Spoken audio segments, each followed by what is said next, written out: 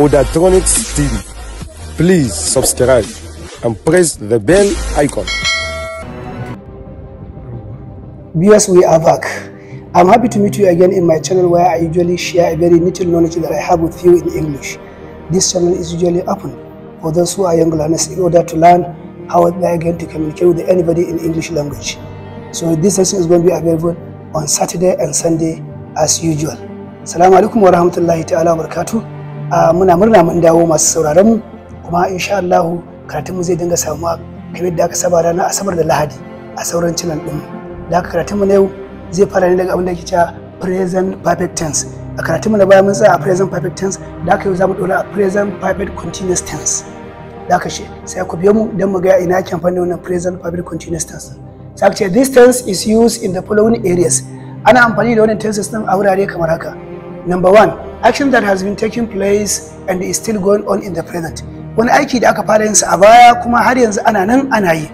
Waje na biyu, action that has been taking place but recently or just stopped. Ko kuma aikin da aka daɗe ana yi a baya amma kwanan nan ya tsaya ko kuma yanzu yanzu ya tsaya. Sai ce me dokarsa? Sai aka ce noun plus pronoun wato noun or pronoun. Ɗan ɗinin tana nufin noun kamar a ce ado, alada, tanimu, anas, haruna, nasara, baske da makamantansu. Fi din kuma tana nufin pronoun kamar ce he she we zai da makamantansu.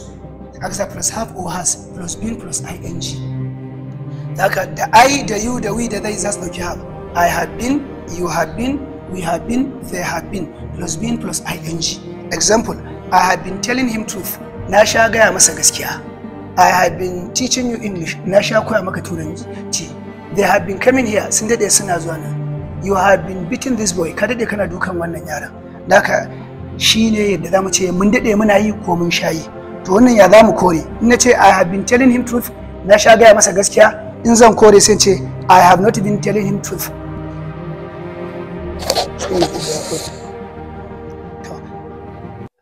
Bara mu sake mai nan wajen. I have been telling him truth na sha gaya masa gaskiya. I have not been telling him truth. Ban sha gaya masa gaskiya ba.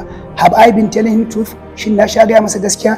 Have I not been telling him truth? Shin ban sha gaya masa gaskiya ba?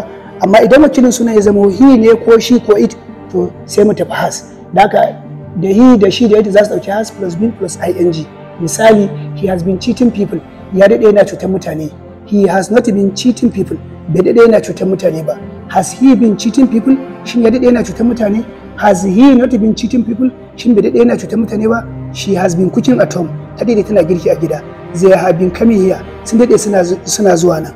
Amma idan ya zama kuma abin ya tsaya to mun faɗo na biyu. Shi sa ce action that has been taking place but just stopped. An fara aikin ko an daɗe ana aikin a baya amma yanzu ya tsaya. Misali sun ce habibu running? Shin gudu kai ta yi ne? Na ganka ka zo gabana kana haki. Ban ganka kana gudun ba amma na kana haki. Haka ganin hakin nan ya nuna gudu kake. In zan tambaya ce have you been running shin gudu kai ta yi ne? Ko kuma misali na biyu ina farka daga waje sai na ga gidan mu ya jike. Na leko ta gana ko ina ya jike. Ko da ruwan ya tsaya sai ce has it been shin ruwa aka yi ta yi ne? Wannan yana cewa an daɗe ana ruwan ni ban sani ba amma da na gani ga result din sakamakon ruwan ina gani a fili. Can kuma in gudun ne ga sakamakon hakin a sakamakon gudun kana yin hakin. Da haka a nan sai ce you been running gudu kai ta yi ne ko kuma has it been running shin ruwa aka yi ta yi ne. Sai ce don't forget to use password. Kar ka manta kai amfani da password in the second clause in ya zo da shashi na magana guda biyu. If the action is in the past. Idan aikin na biyun an yi shi a karare misali my sister has been cooking since our mother fell ill. Kanwata ce take ta yin girki a gidanmu tun lokacin da baba ta kamu da rashin lafiya. Me yasa aka sa fell? Saboda already an riga an kamu da rashin lafiyar ta wuce da haka irin na wajen kar ka manta ku dinga sa password misali zan iya cewa i have been teaching them english since our teacher left Kano. Ina ta koya masa turanci tun lokacin da malaminmu ya bar Kano. Da haka wannan shine tenses da ake amfani da shi wajen nuna cewa na shayi ko na daɗe ina yi. Lokacin da ka ce na shayin abu to za ka koma present perfect continuous tense. Na daɗe ina yi in dai yanzu baka daina ba shi ma dai shi za kuma za kuma present perfect continuous tense. I have been telling you truth. Na sha gaya muku gaskiya.